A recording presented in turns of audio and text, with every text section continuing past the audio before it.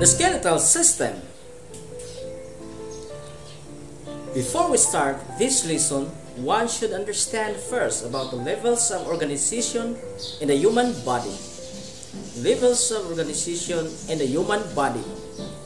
The human body is composed of several complex units that work as one.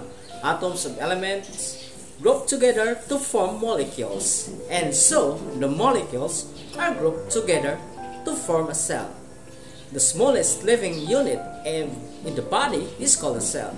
Billions of cells, all of them specializing in certain functions, make up the body. A group of similar cells with similar functions is called a tissue. Tissues with a specific function form an organ. Organs are grouped together into systems. These systems depend on each other, work together in the body of an organism. And so the human body is made up of different body systems that work together. Complex units work as one the human body. Atoms of elements group together to form molecules and group together to form cell. Group of cells with similar functions is called tissue. An organ forms from tissues with specific function. Organs are grouped together to form systems. These systems work together in the body of an organism. What is the role of the skeletal system in the human body? The skeletal system provides form and support to the body. Without the skeleton, you would not be able to talk, walk, or lift objects. Bones functions Number one, protect vital organs inside the body. Second, provide anchor or support to the muscles. And third, produce blood cells. What composes the skeletal system? The skeletal system includes the bones, joints, cartilage, ligaments, and tendons. These are tissues that make up the skeleton. Bones.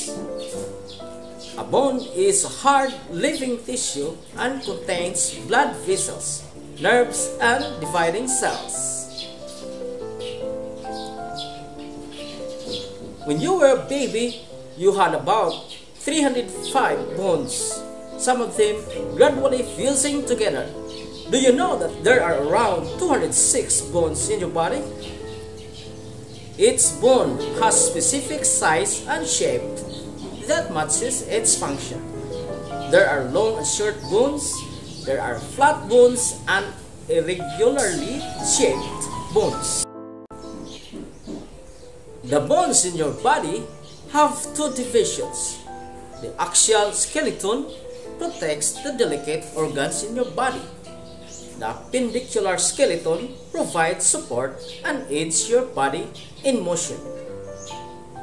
Axial skeleton. The axial skeleton contains bones that protect the delicate organs like the skull, backbone, breastbone, and ribs.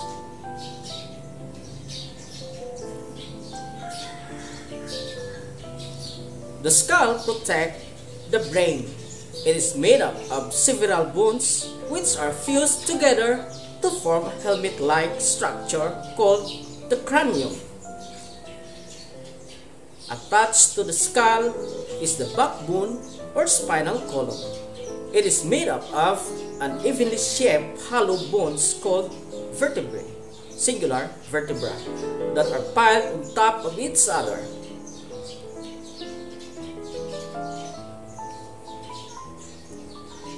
The breastbone is an elongated, flat bones at the middle of the chest. It is connected to the ribs.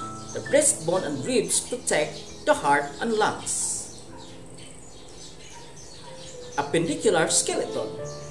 The appendicular skeleton comprises bones that in movement.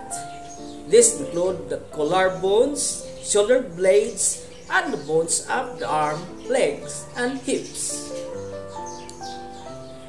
The bones that protrude at the base of the neck are the collarbones. They are attached to the triangular bones called shoulder blades.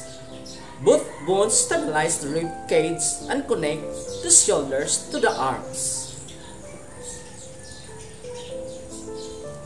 The arm has three bones, one in the upper arm and two in the lower arm. Each hand also has several bones, the fingers and palm.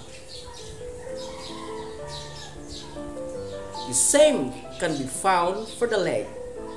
It has one long, one in the upper leg, as well as two bones in the lower leg. Between the upper and lower leg is the kneecap. The foot also has several bones. Just below the waist, you can feel the hip bone, which connects the backbone and the legs. You can bend your knees, twist your arm, nod your head, and do other movements. You can do a lot of movements because of your joints. A joint is formed with two bones connect.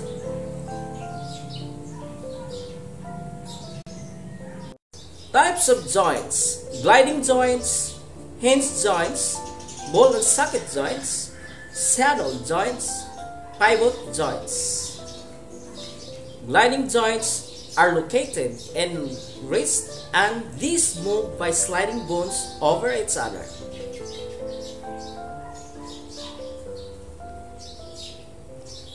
Hand joints can be found in ankles, knees, and elbows. These joints are responsible in bending and straightening.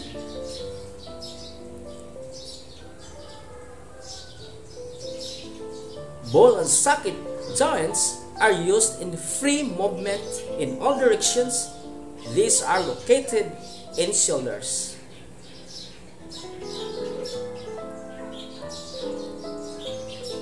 Thumbs can move by tilting in several directions through the use of saddle joints.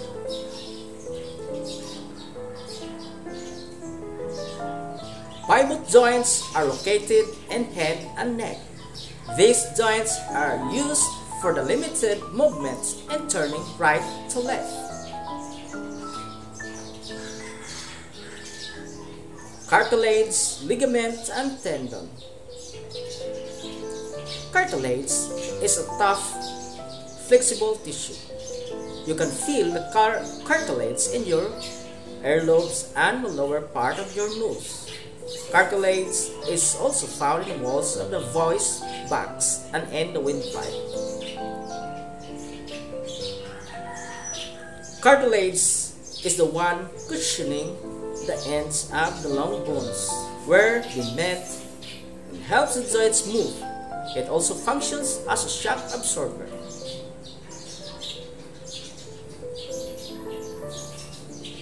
There is also an oil-like fluid at the end of the bones called synovial fluid that lubricates bone. Ligaments attach one bone to another where two bones connect. Ligaments are tough strands of connective tissues. It is the ligaments that hurt when you sprain an ankle. Ligaments are made of very thick and elastic material, making them tough. They can stretch when the bones move. The bones do not separate even if they do a lot of movement because the ligaments hold them together. Tendons are made of tough materials connect a muscle to a bone. An example of tendon is the Achilles tendon in the foot. It connects the calf muscles to the heel bone. You have learned about the importance of skeletal system. To avoid bone injuries, one should follow the proper care of the skeletal system. Here are some ways to properly care for your skeletal system. Number one, include calcium-rich food in your diet, such as milk and cheese. Number two, eat and drink vitamin D-rich foods like eggs, fish, orange juice. It will assist calcium absorption in your bones. Exercise to make bones healthy and strong. Maintain a proper posture. Avoid drinking alcoholic beverages and smoking cigarettes. Always wear your safety gears to avoid bone injuries when engaging sports or extreme extreme physical activities like driving, skating, bicycling, and horseback riding.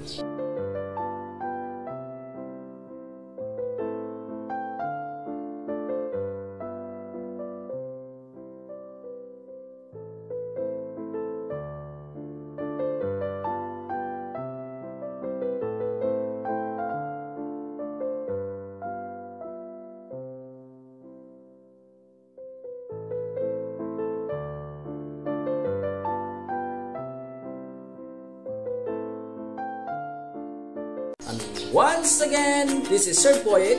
Please subscribe for more videos update. Thank you!